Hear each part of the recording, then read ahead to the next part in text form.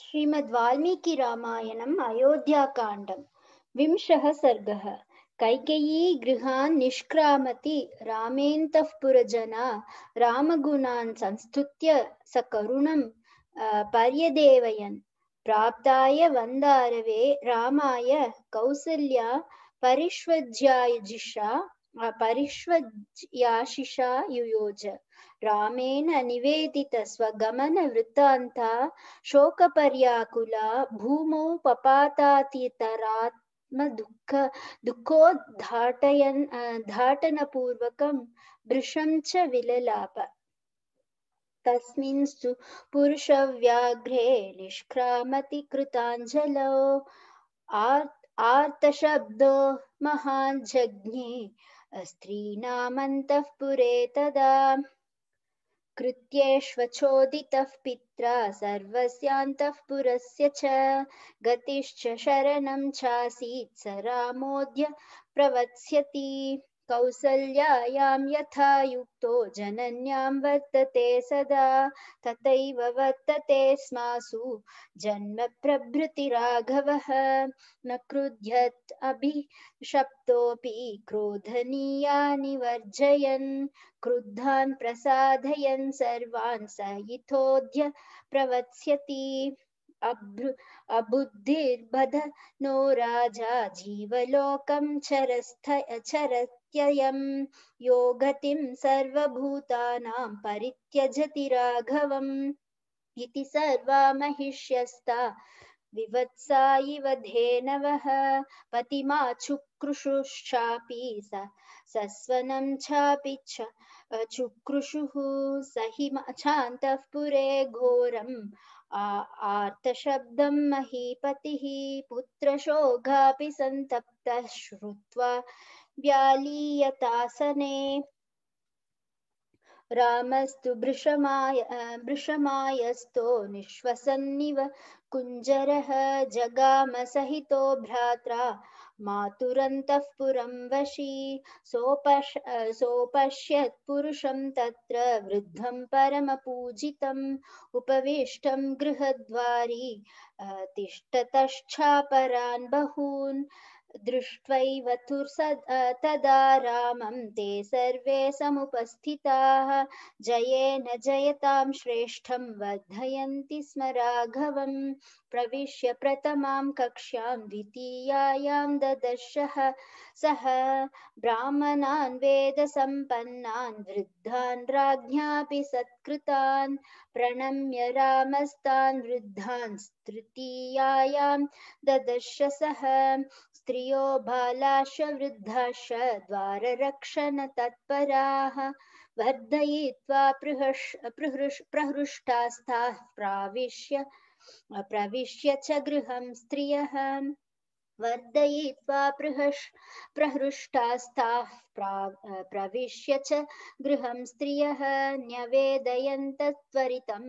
राममातुः प्रियं तदा, कौसल्यापि तदा देवी रात्रिं स्थित्वा समाहिता। प्रभाते चाकरोत् पूजां विष्णोः पुत्रहितैषिणी। सा क्षौमवसना हृष्टा नित्यं व्रतपरायणा अग्निं जुहोति स्म तदा मन्त्रवत्कृतमङ्गला प्रविश्यतु तदा रामो मातुरन्तःपुरं शुभं ददर्श मातरं तत्र हावयन्तीं हुताशनम् देवकार्यनिमित्तं तत्रापश्यत् समुद्यतम्। दध्यक्षदघृतं चैव। मोदकान् हविष् हविषस्तथा लाजान् माल्यानि, शुक्लानि पायसं कृसरं तथा समिदः पूर्णकुम्भाश ददर्श रघुनन्दनः। तां शुक्लक्षौमसंवीतां व्रतयोगेन कर्षितां तर्पयन्तीं ददर्श ददशाभिर्देवतां वरवर्णित वर्णिनीं सा चिरस्यात्मजं दृष्ट्वा मातृनन्दनमागतम् अभिचक्रामसंहृष्टा किशोरं वडवा यथा समातरमुपच उपक्रान्तामुपसङ्गृह्य राघवः परिष्वक्तश्च बाहुभ्याम् अवध अवघ्रातश्च मूर्धनि। तमुवाच दुरादर्शं राघवं सुतमात्मनः। कौसल्या पुत्रवात्सल्यादितं प्रियहितं वचः। वृद्धानां धर्मशालीनां धर्मशीलानां राजर्षीणां महात्मनां वृद्धानां धर्मशीलानां राजर्षीणां महात्मनां प्राप्नुयायुश्च कीर्तिं च धर्मं चाप्युचितं कुले सत्यप्रतिज्ञं पितरं राजानं पश्य राघव, अद्यैव त्वां स धर्मात्मा यौवराज्येऽपि शेक्ष्यति।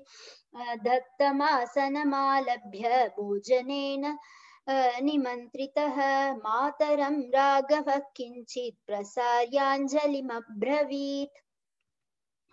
स्वभावविनीत विनीतश्च गौरवाच तथा नतः प्रस्थितो दण्डकारण्यम् आप्रष्टुम् अप अपचक् उपचक्रमे देवी नूनन्न जानीषे सहद्भयमुपस्थितम्। इदं तव च दुःखाय वैदेह्या लक्ष्मणस्य च। गमिष्ये दण्डकारण्यं किमनेनासनने, आसनेन मे। विष्टरासनयोरयो हि कालोऽयं मामुपस्थितः। चतुर्दश हि वर्षाणि वत्स्यामि विजने वने। कन्दमूलफलैर्जीवन्। जीवन् हित्वा मुनिवदामिषं भरताय महाराजो यौवराज्यं प्रयच्छति। माँ पुर् माँ पूर्णदण्डकारण्यं विवासयति तापसं सषट्चाष्टौ च वर्षाणि वत्स्यामि विजने वने आसेवमानो वन्यानि फलमूलैश्च वर्तयन्। सानिकृतेन सालस्य यष्टिः परशुना वने, पपात सहसा देवी देवतेव दिवश्च्युतां तामदुःखोचितां दृष्ट्वा पतितां कदलीमिव, रामस्तुतापयामास मातरं गतचेतसम् उपावृत्तयोत्थितां दीनां, वडवामिव वाहिताम्। पांसु गुण्टित सर्वाङ्गीं विममर्श च पाणिना स राघवमुपासीनम् असुखार्थ असुखार्ता सुखोचिता। उवाच परुषव्याघ्र परुषव्याघ्रम् उपशृण्वति लक्ष्मणे, यदि पुत्र न जायेथ, मम शोकाय राघव न स्म दुःखमतो भूय पश्येयमः अहम अप्रजाः, एक एव हि वन्ध्याया शोको भवति मानसः। अप्रजास्मीति सन्तापो न ह्यान्यः पुर, पुत्र विद्यते। न दृष्टपूर्वं कल्याणं सुखं वा पति। पौरुषै, पौरुषे अपि पुत्रे विपश्येयम् इति रामास्थितं मया। सा बहून् यमनोज्ञानी वाक्य, बहून् यमनोज्ञानी वाक्यानि हृदयच्छिदाम्। अहं श्रे, श्रोष्ये सपत्नीनाम् अवराणां परासति। अतो दुःखतरं किं नु? प्रमदानं भविष्यति। मम शोको विलापश्च यादृशो यमनन्तकः त्वयि सन्निहितेऽप्येवम्। अहमासं निराकृता, किं पुनः प्रोषिते तात ध्रुवं मरणमेव हि, अत्यन्तं निगृहीतास्मि, भर्तुर्नित्यमसम्मता, परिवारेण कैकेया समावाप्यथवा अवाप्यथवा वराम्। यो हि माँ सेवते, कश्चिदपि वाप्यनुवर्तते। कैकेय्याः पुत्रमन्वीक्ष्य स जनो नाभिभाषते। नित्यक्रोधय क्रोधतया तस्याः कथं नु नित्यक्रोधतया तस्याः कथं नु करवाधिनं, स्वर खरवाधिनं कैकेया वदनं द्रष्टुं पुत्र शक्ष्यामि दुर्गता। दशसप्त च वर्षाणि जातस्य तव राघव, अतीतानि प्रकाङ्क्षन्त्या मया दुःखपरीक्षयं परीक्षयम्। परीक्षयम्। अतीतानि प्रकाङ्क्षन्त्या मया दुःखपरीक्षयं तदक्षयं महद्दुःखं नोत्सहे सहितुं चिरात्। विप्रकारं जीर्णापि राघव।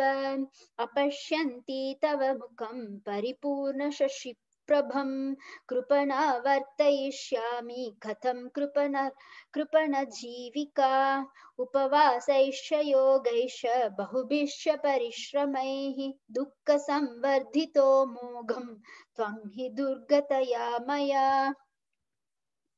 स्थिरन्नु हृदयं मन्ये ममेदं यन्न दीयते प्रावृषीव महानद्या स्पृष्टं कूलं न वाम्भसा, ममैव नूनं मरणं न विद्यते, न चावकाशोऽस्ति यमक्षये मम, यदन्तक्रो, कोध, कोध्यैव न माँ जिहीषति, प्रसह्य सिंहो रुदतीं मृगीमिव स्थिरं हि नूनं हृदयं ममायसं न भिद्यते यद्भुवि नो विदीर्यते अनेन दुःखेन च देहमर्पितं, ध्रुवं ह्यकाले मरणं न विद्यते। इदं तु दुःखं यद, यदनर्थकानि, मे व्रतानि, दानानि च संयमाश्च तपश्च तप्तं यदपत्यकाम्यया मुनिष्फलं बीजमिवोद्भूपरे मूपरे यदिख्यकाले मरणं यदृच्छया लभेत कश्चित् गुरुदुःखकर्षितः गताहमद्यैव परेत संसदं विना त्वया धेनुरिवात्मजेन वै। अतापि किं जीवितमद्य मे?